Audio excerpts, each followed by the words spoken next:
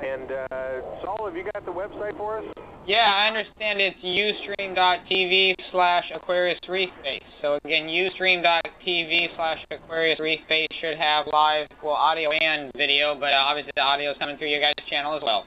Awesome, man. Uh, this is pretty cool. I, I mean, and, and to me, this is the dry run. We're going to do this with the space station someday, just because I want to. You know? well, But- and This you'll... is a wet run, Mark. That's a No good fun. point. I That's can hear good Patty point. Gross uh, laughing in the background. Patty so- Gross is here.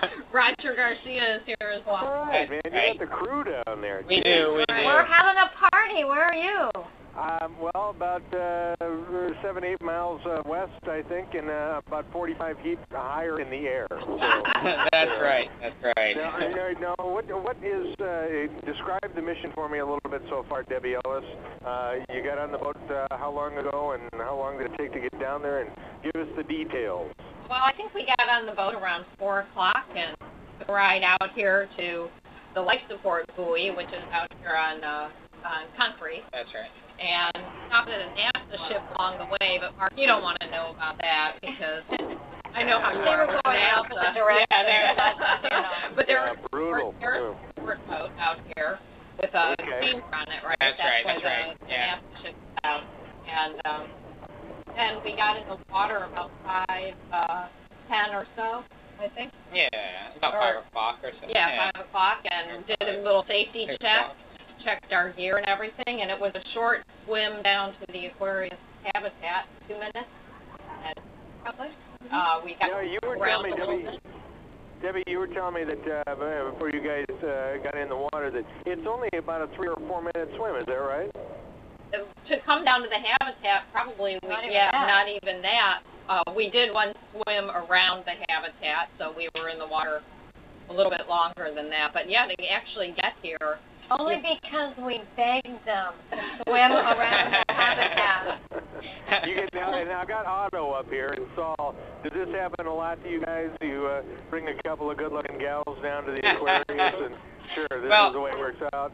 Well, I'm sure I should state that the science team has both male and female members, and I'm sure they're all beautiful and gorgeous right now. So there, there are uh, six of us living down here, and now we have two visitors. So it's a, it's a great place to be, and yeah, we do get a lot of visitors in, and people really, really enjoy it. Both the outside views and just kind of living in here, looking out, watching the fish swim by is a, a unique experience. Very cool stuff. Now, I want all you guys to sit tight right where you are. We are going to take a break. We're at 15 after the hour. We're going to come back. We're going to talk more to uh, Debbie Ellis, Saul Rosser, Patty Gross, the entire crew, uh, along with Otto Rutten. Uh, at, uh, did I say that right, Otto? Okay, got that right. Uh, we'll uh, talk more uh, from the Aquarius. Is it underwater? Laboratory. Laboratory. There you go. When we come back, so stay with us. Encore 102 on the ocean side. Uh, Mark Mills here, Otto Rutten there across the uh, table from me, and uh, about uh, 45, 50 feet below the surface at the Aquarius uh, underwater laboratory.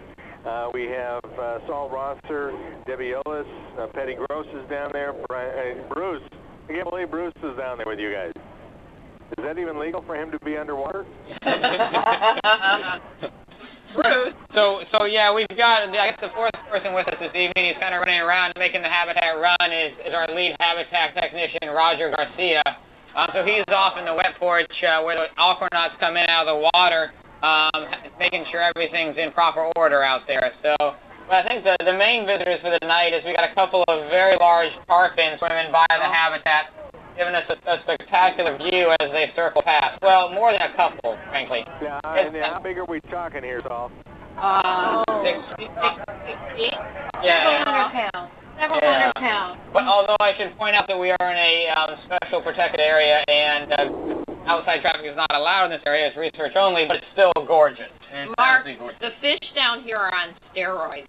I have seen the biggest grouper, the biggest tarpon, uh, huge Angel barracuda, the largest French angel I've ever seen in my life. It's just Yeah, you amazing. guys, by by putting this on the radio, you guys realize that you'll have Skip Radine anchored above the Aquarius tomorrow. it's true, but then again, so will the uh, the the Marine Patrol. So you know, they, yeah.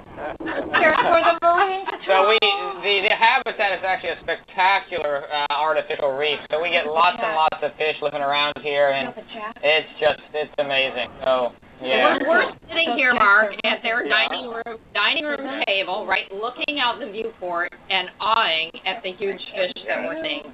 We're on the inside of the aquarium, and it's just amazing to watch the fish that are swimming outside and schools, the pools, jack.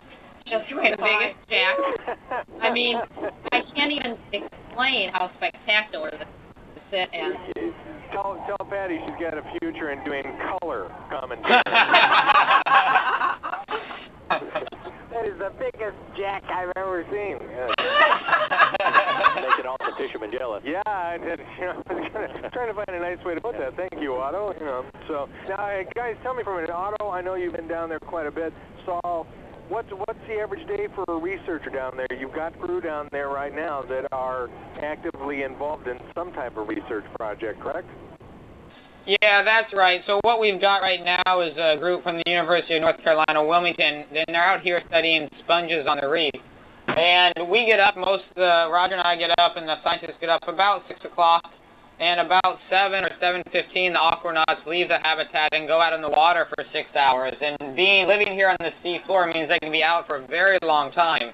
So they spend 6 hours out doing their work. They check in every once in a while to fill their twin hundreds uh, cubic foot scuba tanks or we have little bells out on the reef, or we, what we call way stations, where they can take a break, check in, and fill as well. And so they're out there six hours, come back, do some work. Maybe there's a nap, it happens, and then they go out again in the evening. So right now the scientists are back out there doing their work again for the next couple of hours. It's a it's a busy day, but incredibly productive for the scientists. And what are they looking for with their, with their study with the sponges? Can you uh, you know, pull the curtain back on any of that for us?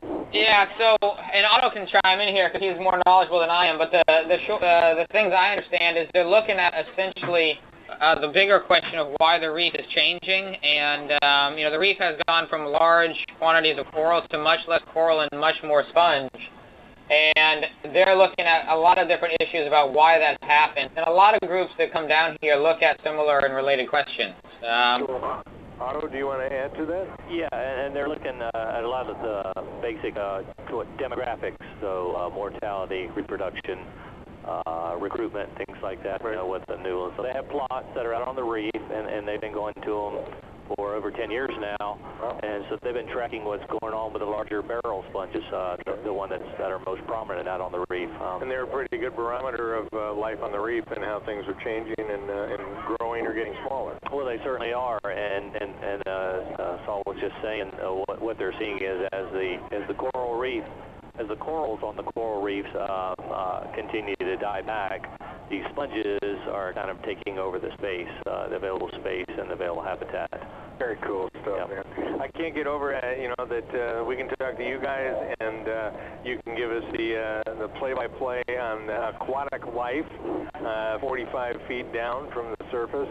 Uh, and Patty, you want to tell me again how big that jack was? Ginormous. It's Dick's enormous. I, uh, you know, idiot. Uh, Debbie, the, the first impression you have when you walk in there, because I know you've been in there a couple of times now, has it changed Uh-huh. each time? Yeah, you know, there's things that you don't remember about it that you think, oh wow, I don't remember this. You know, when you first come up, it, you know, my ears still aren't clear, and everybody's voice sounds funny. I don't know if it sounds funny to you, but it does to me. So Oh, that's just very pressure. Yeah, we're, we're, down here and we're in two and a half, or 2.4, almost two and a half atmospheres of air. And so everything's a bit denser. And so we do sound a bit maybe more nasal, I guess you would say. Well, Um, I, I was wondering if you had a couple of the extras from Wizard of Oz down there with you. so you can tell, you can hear the difference. Mark. yeah, they're representatives from the Lollipop Guild, uh, but you know we'll, we'll leave that alone for another time.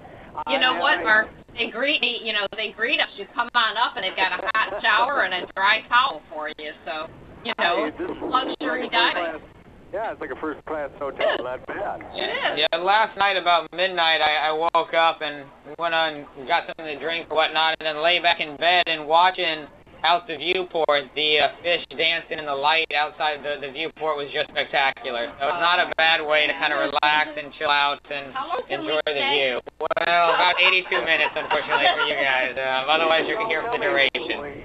So what's the longest period of time you've been down there? Well, this actually for me is I've been with the course about a year, so now I'm on day seven of my second mission, and this is the longer of them, so this is my longest time. Otto, I think you've been down there for about 10 days. Is that your longest, Otto? Yeah, 10 days would be my longest. I think 18 days is the longest mission that we've currently run out of that. What's it like sleeping down there? Uh, It's wonderful. Is it really? I, I had my best sleep in, in Aquarius. Really? Wow. It's got, it's got a nice background humming noise, and and uh, it's just, you know, I, I think it's, it's just relaxing. So you really Yeah. get in the zone, so to speak, when you're there. Well, that and you're very, very tired. Yeah. Yeah. Spending that much time in the water will, will wear you It's out. work, isn't it? Yes, it is. Wow. Guys, I can't thank you enough. Otto uh, and uh, Saul Rosser, uh, you know, this is outstanding that you guys, uh, you know, uh, open the door for us and let us into Aquarius. Uh, and we'd like to do it again real soon when you change the guard down there. Uh, give all of the people who are down there researching sponges and, and whatnot uh, our best and uh, tell them uh, thank you so much. Uh, Debbie, Betty, Bruce, guys, um, always uh, a pleasure to talk to you, but cool tonight, so really cool. Uh, Thank you, Mark. Thanks. Now, you guys are going to continue to stream on the Ustream for quite a while yet, right? I'm sorry, we're having some radio traffic in the background. Say that again, Mark?